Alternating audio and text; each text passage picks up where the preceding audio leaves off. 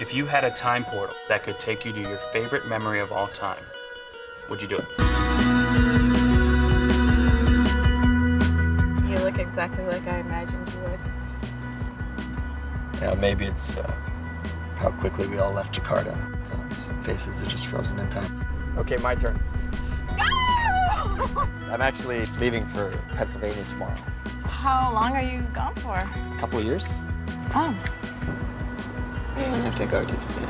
We could stay a little longer. No one has to know. Some of us have to grow up. At least I didn't give up. You can't keep running your whole life. You can't keep denying who you are either. Maybe I just look for reasons not to want to go back. That's the wanting I hate. Wanting the impossible.